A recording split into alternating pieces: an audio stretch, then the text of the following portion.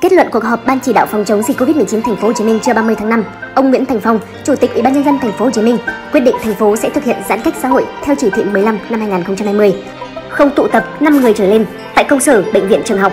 Riêng quận Gò Vấp và phường Thạnh Lộc quận 12 thì phong tỏa toàn bộ trong vòng 15 ngày kể từ ngày 31 tháng 5. Chủ tịch Ủy ban nhân dân thành phố Hồ Chí Minh Nguyễn Thành Phong cũng yêu cầu phong tỏa quận Gò Vấp theo nguyên tắc gia đình cách ly gia đình, khu phố cách ly khu phố, phường cách ly phường. Bên cạnh đó, ông Nguyễn Thành Phong đề nghị các quận huyện và thành phố Thủ Đức thực hiện nghiêm các chỉ đạo của Ủy ban nhân dân thành phố trước đó.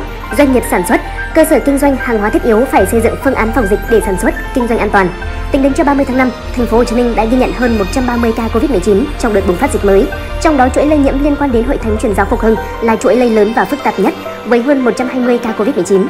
Trong diễn biến liên quan, Phó Chủ tịch Ủy ban nhân dân thành phố Hồ Chí Minh Ngô Minh Châu khẳng định cơ quan chức năng khởi tố vụ án với những con người cụ thể chứ không khởi tố với tổ chức là Hội Thánh Truyền giáo Phục Hưng. Sắp tới cơ quan chức năng sẽ tiến hành điều tra, cá nhân nào có đầy đủ dấu hiệu vi phạm thì sẽ khởi tố bị can. Tối 30 tháng 5 năm 2021, thông tin từ Trung tâm Kiểm soát bệnh tật thành phố Hồ Chí Minh HCDC cho biết, thành phố đã ghi nhận thêm 14 trường hợp dương tính Covid-19 mới. Trong ngày 30 tháng 5, trên địa bàn quận 3 thành phố Hồ Chí Minh ghi nhận một trường hợp dương tính với SARS-CoV-2. Ca dương tính này được phát hiện khi lấy mẫu tầm soát trước đó một ngày. Người này sống cùng nhà với ba mẹ tại một con hẻm trên đường Điện Biên Phủ. Ngay khi nhận được thông tin, lực lượng chức năng đã xuống hiện trường và tiến hành truy vết. Quá trình điều tra ban đầu còn gặp nhiều khó khăn do ca dương tính chưa cung cấp đầy đủ thông tin. Tuy nhiên, sau quá trình điều tra liên tục, các lực lượng chức năng đã ghi nhận ca dương tính này từng đi tới nhiều nơi tại thành phố. Trước đó bản tin tối 30 tháng 5 của Bộ Y tế đã công bố 49 ca bệnh Covid-19 tại thành phố Hồ Chí Minh có liên quan đến chuỗi lây nhiễm Hội Thánh Truyền giáo Phục Hưng.